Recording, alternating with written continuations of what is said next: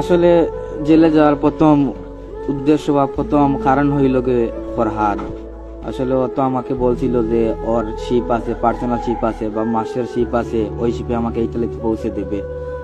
ওকে টাকা দেওয়ার জন্য বলছিল। তো আশা করছিলাম যে হয়তো মাছের শিপে গেম দিলে বা অনেক ভালো একটা শিপ আছে, ওই শিপে গেম দিলে আমি ইটালিতে পৌঁছে যাব। তো ওই কথা বলে সে আমাকে নিয়ে গিয়েছিল ওর গেম করে। ওখানে প্রায় আমি দীর্ঘদিন ছিলাম প্রায় পনেরো দিনের মতো। তারপর পনেরো দিন পরেও আমাকে গেম দিয়েছিল।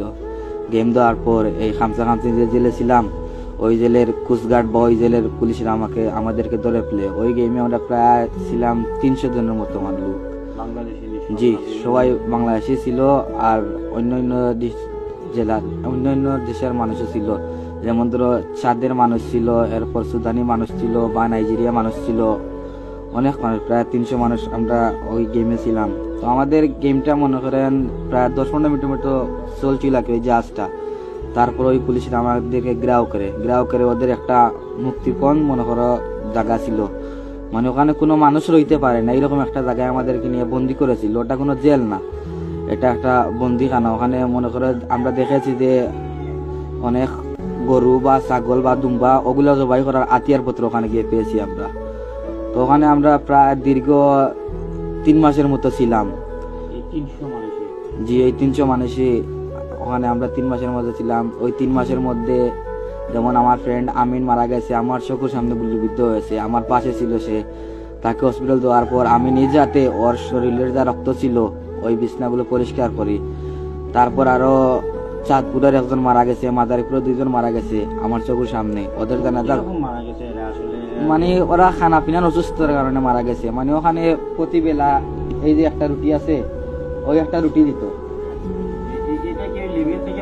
জি লিবিয়া থেকে নিয়ে আসছি। দর্শক আমার এই ভাইটি আসলে এখান থেকে একটি রুটি নিয়ে আসছে। এইরকম এই যে রুটি এই- এই- এইরকম রুটি। জি। তারপরে? এটা লিবিয়ার এক টাকায় মনে করো ছয়টা রুটি পাওয়া যায়। এইরকম রুটি আমাদেরকে প্রতিদিন একটা দিত। তারপর মনে করো আমরা সারা রাত জেগে থাকতাম যে এই রুটির অপেক্ষার জন্য। সকাল দশটা হইতো, ওই রুটি গেইটের বাইরে আইকা দিত কিন্তু এমন অবস্থা হয়েছে যে সময় দেখছি যে রুটি গেইটের বাইরে আইকা গেছে, কিন্তু ভিতরে ঢুকাচ্ছে না। খিদার কারণে চোখ থেকে জল এসে গেছে। মানে খানাটা আমাদের সামনে, কিন্তু ভিতরে ঢুকতেছে না। এরকম অবস্থা ছিল। তারপর পানির কথা বললে, এই যে বোতলের চাপনি আছে ডিভা এই ডিভার মধ্যে পানি খাইতে হইতো, বাক করে। তিনশো লোক তো সাত লিটার পানি দেওয়া গেছে। এখন ওই পানি সবাই বাক করে খাইতে হইতো এই জন্য ডিভাই ডিভাই মনে করো দিয়ে দিয়ে সবাই গলা শুকিয়ে মানে গলাটা ভিজে চোলার মতো বসতো। মানে জি মৃত্যুটা খুবই কাছে ছিল ওই সময়। কারণ আমি যে সময় গিয়ে প্রথম দেখেছিলাম আমার থেকে আর ছয় মাস আগের মানুষ আছে ওই জেলে। তো এদের এমন অবস্থা হয়েছে মনে করো শরীরের হাড্ডি যেগুলো আছে যে ওইগুলো গোনা যাবে। তো ওদের সাথে যোগাযোগ করলাম যে ওখান থেকে বারণ কোনো ব্যবস্থা আছে নি। ওরা বলল, না, ওখান থেকে কোনো বারণ ব্যবস্থা নাই। আমরা এই নয় মাস থেকে? কোনোদিন একটা, কোনোদিন দেড়টা। এর বেশি নাই। মানে সকালে একটা দিলে রাত্রে আধা খান দিত।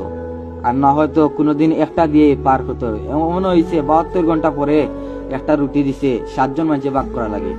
সাতজন মাইতে বাহাত্তর ঘণ্টা পরে একটা রুটি ভাগ করে খাইছে। আটচল্লিশ ঘণ্টা পরে একটা হাফ লিটার পানি দিছে। ওই পানি আমরা সাতজন মানুষে ভাগ করে খাইছি। এমন অবস্থা আছে। আর ওখানে তো মনে করো, রোয়ার মতো কোনো উপযোগী কোনো ইয়েই নাই। যে ইলিশ যেরকম আমরা শুয়াই, ইলিশ খাইত বলি ওই রকম ইলিশ খাইত।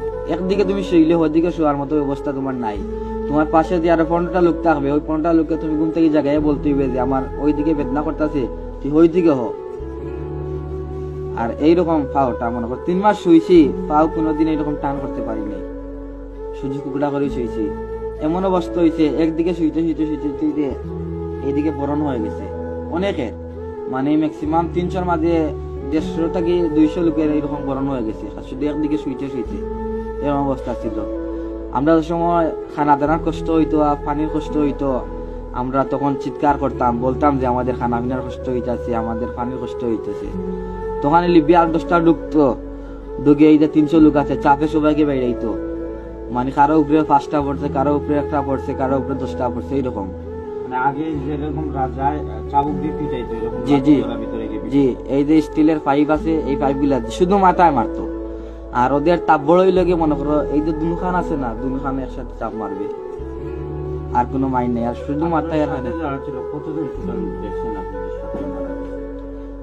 আমার সাথে প্রায় সাতজন মারা গেছে। আমার দেখা মতো, তবে তিনজনে জানাজা করতাম পারছি আর বাকি এরা জানাজা হয় নাই। মানে ওরা মৃত্যুর পর যে সময় খবর পায় যে একজন লোক মারা গেছে, ওরা আসবে ওদের খাবার দাবার সম্বল থাকক, দেখবে, দেখে বারানি একটিল শোয়াইবে রইদের মাঝে। শোয়াইয়া পাঁচ সাত মিনিট পর ওরা লাতাইবে এই লাশের উপরে। লাইতে টাই করবে যে ওটা আসাও মারা গেছে না মিথ্যা বলছে। তো যে সময় লাতালাতি করবে, দেখবে আরও এক ঘণ্টার উপর কেউ লড়াচড়া করছে না, তারপর ওখান থেকে নিয়ে যাবে। তো আমরা লাস্টে এমন অবস্থা হয়েছিল যে আমরা তো ওখান থেকে আর সফর জল যেটা বলা হয়, ওখানে তিন মাস দীর্ঘ, প্রায় তিন মাস থেকে সাড়ে তিন মাস আমরা অনেক কষ্ট করছি, অনেক খানা দানা পাই নাই বা অনেক রকম কষ্ট হয়েছে। তো ওখানে তো আমিন মারা গেছে, আমরা একই গেমে ছিলাম বা মদিনাতে একসাথে ছিলাম লিবিয়াতে। তো অনেক কষ্ট হয়েছে যে নিজ হাতে ও ওর জানাজা করতে পারি নাই বা ওকে আর শেষবারের মতো দেখার সুযোগও পাই নাই। যখন আমি হসপিটালে দেওয়ার জন্য বলেছিলাম তখন আমি দেখছি ও জীবিত। তারপর হসপিটাল দিয়েছি। ও চিকিৎসার ভয়ে মারা গেছে। আমার চোখ ধারণা, দিন ভালো চিকিৎসা হতো, তাইলে অবশ্যই ও আবার ফিরে আসতে পারতো। যাই হোক